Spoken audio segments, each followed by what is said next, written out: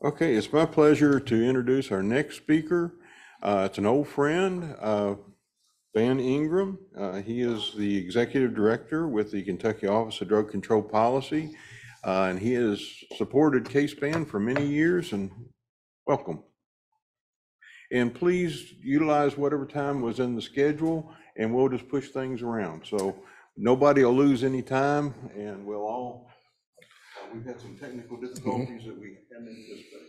Thank you, Steve. Good to be back at Case I don't think I've been to a meeting since uh, COVID. I don't think so. And uh, it- schedule-wise, it just has not worked out that I could come, but I'm glad I could be here today uh, and share some information with you all about, about uh, drug policy in Kentucky and, and what's going on.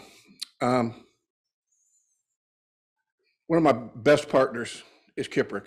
Um, I could not do what I do without KIPRC. Uh, Interestingly, yesterday I got an email uh, sh- showing that some states are using their opioid abatement money to set up county data profiles. And the person was saying, can we do this in Kentucky? I- Yes, we can, did it. We, KIPRC did it years ago. Here's the link to it. Um, I've, I've joked with Terry over the years that she's, sometimes she's the, they're the best kept secret in Kentucky. Uh, But I use them extensively. Uh, and, and one of the things that, that, that we do together is a 20, is an overdose death report. And we released that just uh, uh, several weeks ago. The good news is there was a 5% reduction in deaths, although that's, the bad news is that's still six Kentuckians dying every day. We saw an increase in African-American deaths of almost 20% over the last two years. We went from a per 100,000 rate of 15 per 100,000 in 2021 to 25 per 100,000 in 2022. So that's very disconcerting um, and, and, and re- requires a lot more effort on our, my part and KORE's part and, and our partners uh, to raise that awareness uh, in that community. And we're going to continue to try to do that. In this last legislative session, there was a couple of bills of interest. Um, One was House Bill 353, which removed fentanyl test strips from the definition of drug paraphernalia in Kentucky. Um, We had, we had some health departments uh, that were used, doing it before the law passed, but we had others that were just very uncomfortable handing out fentanyl test strips as long as it still met that definition of drug paraphernalia in the statute. So we worked with Representative Kim Moser, ACLU, Chiefs Association, the League of Cities. A lot of people came together, a lot of groups that don't usually come together, uh, and, and passed what I think is a pretty good piece of legislation. Um, and we had, a- it was a really great cooperative effort.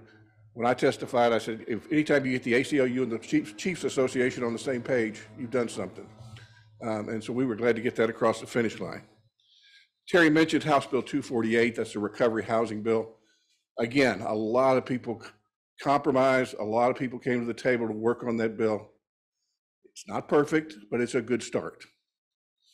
Um, But we have some sober living facilities in this state that are anything but sober. And it had to be addressed. Um, I wavered on it back and forth over the years. You know, sometimes you can regulate things and good people get out of it because the regulations become too onerous. I didn't want that to happen, but at the same time, we were getting some awful reports around the state of, of, of recovery housing that was preying on some of the most vulnerable people at the most vulnerable times of their life um, and not providing good service. So something had to be done, and I'm, I'm glad we were able to get that bill passed. One of the other projects that our office is working on is a recovery-ready community certification. Um, That bill was passed a couple of years ago.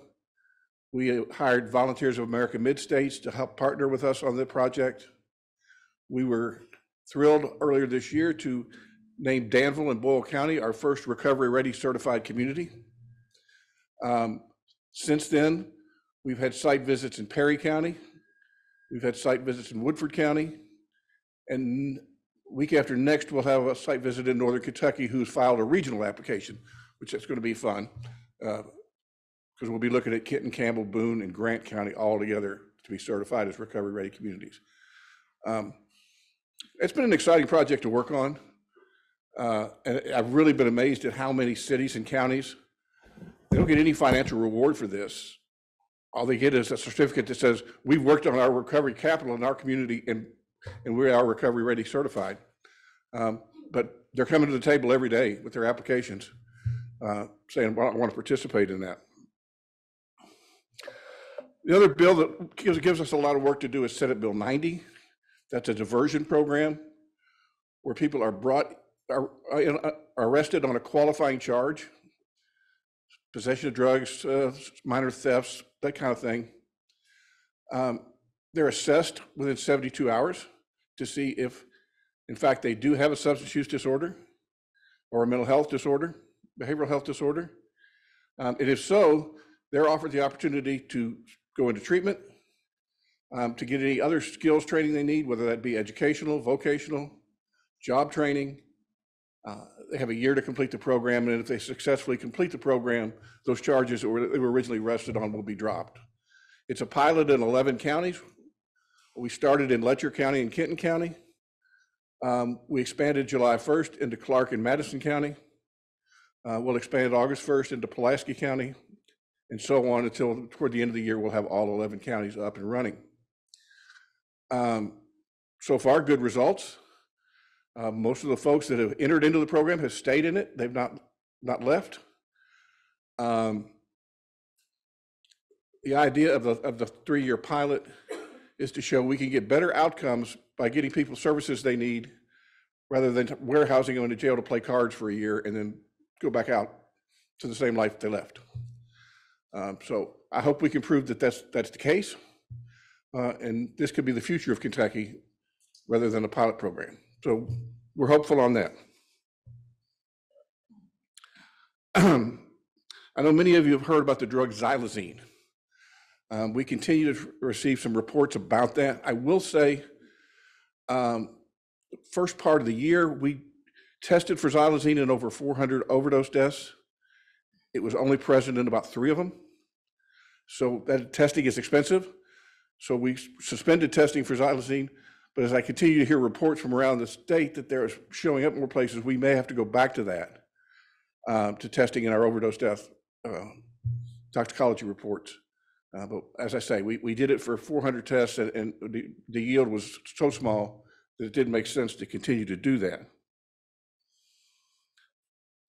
Um, Also, this year, we've, we have partnered with K-SPAN, the Child Fatality Review Panel, to provide uh, safe storage medication boxes. Um, Our our Kentucky ASAP State Board has voted to fund those. What was the last ask, Steve? Do you remember? $50,000 in this year. Um, And the demand for those things has been huge. Uh, So that's a good thing. If we can keep any child from, from suffering uh, from an overdose, uh, ingesting substances, we've made a good investment there. And we've been happy to partner with, with, with them for that. Um, Opioid Abatement Commission, I serve, I'm appointed by General Cameron to serve on the Opioid Abatement Commission. Um, So far, we've granted out $8 million in awards. Um, We are currently reviewing other proposals, um, and I suspect we'll grant out a like amount uh, in the fall.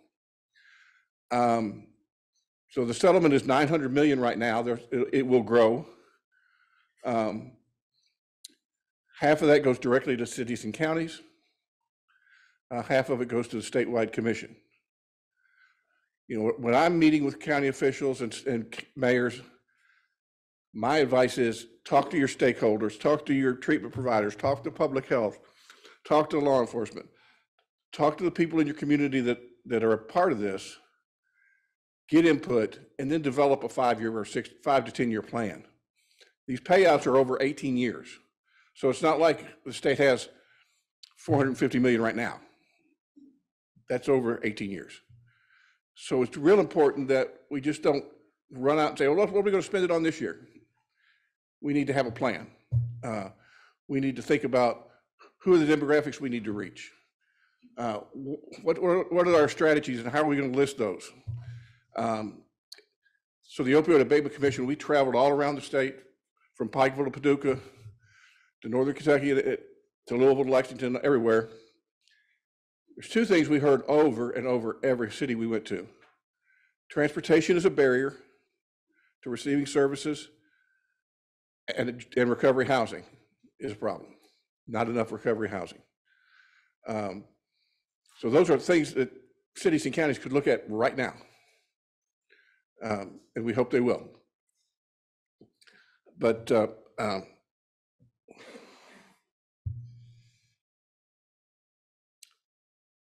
the other thing that, that, that we can all look at is, is how are we doing on the naloxone distribution? So KORE, my- Kentucky Opioid Response Effort KORE, they spend quite a bit of money on naloxone.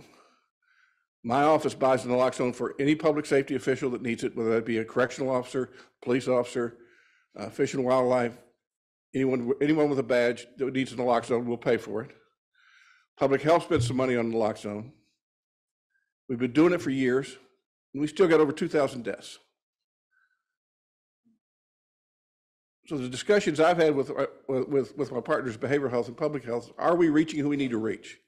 For example, I've carried naloxone since 2015. I'm an old man, I'm never out after dark. So who am who am I going to run across somebody that's in an overdose? Probably not. So I, what I did do, I found there was a, a a COSSAP grant in the Justice Cabinet that was going to go back to uh, the feds if we didn't come up with a pl- new plan to spend the money. Um, It had been dedicated to one project. That project didn't come to fruition. So right now, in 24 jails and all of, and 14 prisons, everybody who leaves, we offer them the opportunity to leave with naloxone. Um, Most are taking it. Um, I don't care what the charge is. I don't care what the situation is. If you're leaving a correctional facility and you want naloxone, we'll pay for it. I'm thinking maybe that will help us reach more of the folks that are li- likely to come in contact with someone in overdose than I will. Um, So we're, we're, we're, we're working that strategy. That grant expires in September. Um, and I'll be really interested, Terry, to see if we had any impact on overdose fatalities or overdose incidents uh, in the months that we've, we've done this, which is May, June, July, August, and September will, will be the months that, that this has been going on. Um, so we're hopeful that that project will show some good signs, and then I'll write another grant uh, to the feds to try to keep, keep it going. Next week, uh, some folks from behavioral health, public health, and myself are going to Bethesda, Maryland, to meet with SAMHSA officials. We've been chosen out of about 10 states to participate in a naloxone saturation project. um, Where we come up with strategies uh, to, to saturate some communities with naloxone. Um, I'm thinking about the west end of Louisville. I'm thinking about some other places that, that uh, we need to really target um, with, with, with naloxone saturation. And so we're going to be working on, on a plan to do that next week. That's about all I had to share with you, but I'm happy to answer any questions or have any discussion that you would like.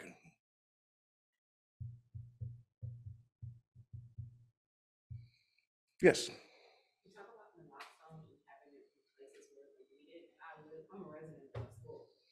So we see a large homeless population at times around the grocery stores, liquor stores, um, and other places. So would it be possible maybe to even think about placing it in maybe Kroger's or having it somewhere near to where maybe you might experience it, or someone might be Yeah, so for those of you on Zoom who didn't hear the question, the discussion was, uh, could nal- naloxone be put in places where homeless folks and, and other folks that are at- danger would be gathering, like uh, grocery stores, uh, convenience stores, that type of thing? I think that's a good part, a good strategy to explore. Um, The boxes have been controversial in a few places. I'm all for them. Um, we do have to figure out how to make sure that somebody doesn't come in and take it all uh, and, and hoard it, um, for lack of a better term, or try to sell it on the street. Um, So we, we need some safeguards in place for that. um, But I think that's a good idea. I think placing it, placing them where people can anonymously go and get it will, I think, help increase getting in the hands of those folks that need it the most. Yes, sir. One of the things I ran into a couple years ago when um, I was interfacing with public health and they were talking about they were going to launch some program that they were distributing. And I asked about getting it for the volunteer fire department members. And they said, we can't, under our grant, distribute it to those folks. Um, we were able to leverage some money countywide through county government I, I know there's avenues for law enforcement, but that's another avenue in some of the counties, I know they're having trouble being able to fund it, you know, they just don't have the money. Um, and I'm hearing that from a few different people. But are there avenues for those kind of agencies to be able to access it? Yeah, um, contact Marie Winfrey, uh, at the Department of Public Health. So they've had a, what's called a FR-CARA grant to provide that services to volunteer fire departments and others. It started out with about thirty eastern Kentucky counties. It's grown to about seventy. And my understanding is on their next grant proposal, which would take part in October, that it was gonna nearly cover the state. And that may have been where they ended up getting it, I, I was a little bit attached from it, but it, it was odd when I asked about it, if, if I'd just gone in and said, I want. it," Yeah. Not told them I wanted, I could've got one, but it was. Yeah. Once I, I told them it was for a volunteer fire department, uh, it was like, we can't do that. You know, every grant has their restrictions, and sometimes they don't make any sense, but they're, they're there. But yeah, I, I think uh, that FR-CARA grant is going to nearly cover the state, uh, starting in October, so. uh, And, and you know, these counties and cities that come into money, that should be a discussion about naloxone. No, you know, uh, uh, first responders in that, in every, every county should have access to that. Uh, That's, a- Some of the partnerships you talked about, I'm at WKU, our Student Government Association approached us and said they applied for their own grant and got it, purchased naloxone. Uh, we helped them distribute it, we got it in all the fraternity and sorority houses, and we just finished placement in the, uh, all the residence halls with the AEDs, and we're gonna roll that out to all the residents when they come back, it's, they're ready, uh, and accessible. well, thank you for that. That makes so much sense. There's a lot of good partnerships out there to do that, um, and, uh, and we, and we're working on the training element of it too, to, to let folks know, that, you know, one dose may not do it. You need to, to avail yourself of, you know, the, the emergency response process. Uh, but, but the initial two doses were there for them, you know, to have access. You know, with 107 to 10,000 Americans dying every year, every place there's a defibrillator, there should be a naloxone. It just makes sense. Um, I still have that argument with people that uh, I shouldn't be spending all this money on naloxone, but um, as long as I'm here, I'm going to continue to do it. Uh, There was also mention that concert venues would be a good spot for vending and, uh, dispersal of naloxone. Another good idea, yeah. Yes, ma'am.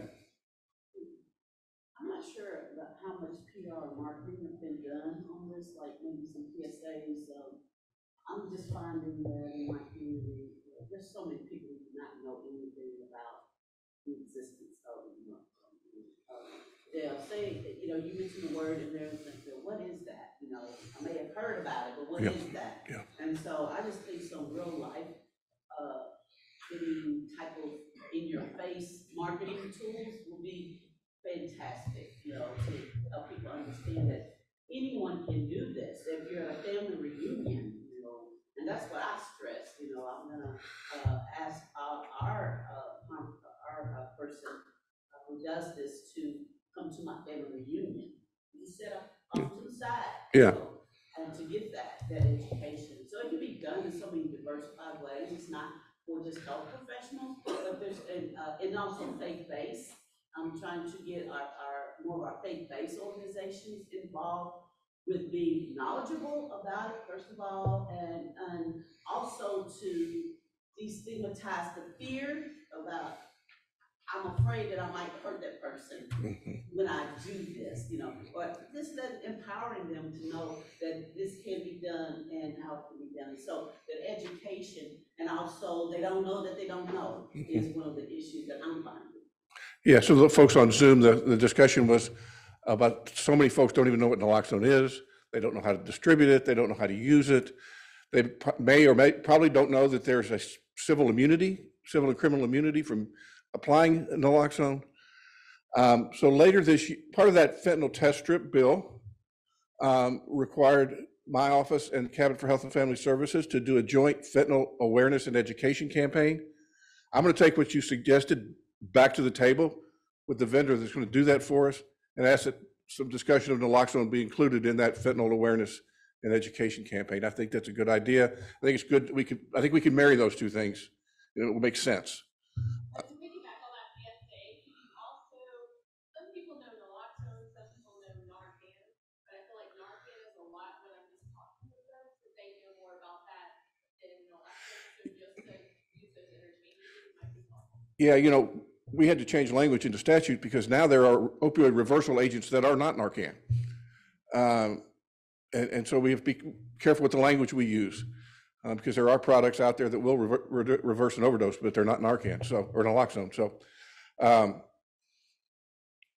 But we certainly need to do more education. I, I just signed a contract with the Kentucky Broadcasters Association to have a PSA run on every Kentucky radio station and 19 TV stations once a day. Um, What I started doing was promoting 8338KY Help, our statewide call center. Terry and I had a discussion yesterday about findhelpnowky.org, and if we're not constantly promoting these things, people forget, to your point, they forget they exist, or they don't know they exist. Um, And both Terry and I have spent a lot of money promoting those products, but it feels like it's never enough. Last year, I was doing trainings for police chiefs. How many of you have heard of 8338KY Help? Like crickets. How many of you have ever seen findhelpnowky.org? Very few hands go up. Um, So I have had, we did, we, we, uh, I worked with one of Terry's folks and one of the folks from 8338KY Help, and we did a two-minute roll call video to train police officers in, here are these two resources, they're available to you. Every day you come in contact with somebody that touches substance use disorder, here's an easy way to make a referral. Just call this number, go to this website. Um, So we, we, we got to constantly be promoting that, uh, th- those, those things that are out there, naloxone, uh, you know, a tool to help people find treatment, a number you can call and people will help do a screening and referral and help you locate the right treatment for you. Uh, So many of those things are so important. Um, But there's never enough dollars. You know, and, and, and we, we've got millions of dollars in Kentucky devoted to this, but there's, there's just so much need for so much stuff. Yes, sir. And I should know this, but is there anyone in Kentucky that does the, the boxes, like you can just walk up and runs? So there was one in Vine Grove for a while. Um, We're, de- we're working on one, a kiosk designed in Hazard, Kentucky for actually a syringe service program uh, vending machine. Um,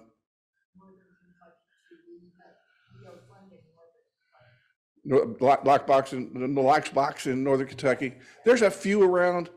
Um, I was in, uh, I won't name the town. I was in a, a town last week and, uh, tried to promote this idea along with someone from their public health department and, and their first responders had, had no interest in it whatsoever. So still a lot of work to be done. Um, but I have to say, Indiana's way ahead of us on the locks boxes and we need to get more promotion of that. Uh, I heard something on NPR this morning about it, and- Yeah, they've been very aggressive with the locks boxes. And they also said there's a lot of pushback there too. Yeah. Um, we are working on getting them in schools, uh, more prevalently. Um, there's an effort underway to do that. But yeah. Dr. Brenzel, my friend in behavioral health, says we, we need to tape it to the guardrails along the highway, you know, they need, it needs to be everywhere. Anybody else? Well, not, thank you. I appreciate being here with you. We'll stay for a little while. I can't stay all day, Steve, but I'll stay for as long as I can.